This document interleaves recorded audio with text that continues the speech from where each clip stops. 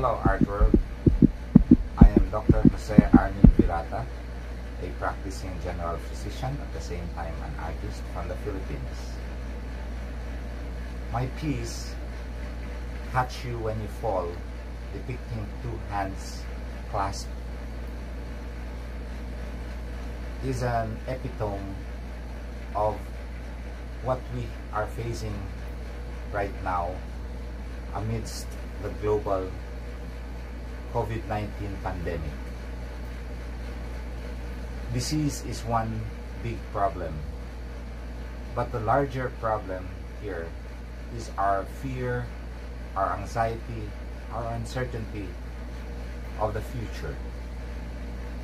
Thus, we take care of ourselves by comforting each other and helping us spiritually see each other through.